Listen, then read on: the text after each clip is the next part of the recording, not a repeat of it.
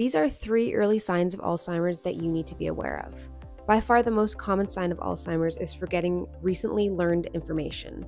And this may look like the person asking the same questions repeatedly, like asking what's for dinner, even though they've been told multiple times. Number two, people with Alzheimer's may also find it hard to complete familiar tasks.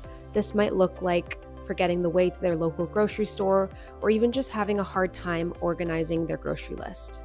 Number three, changes in mood or personality.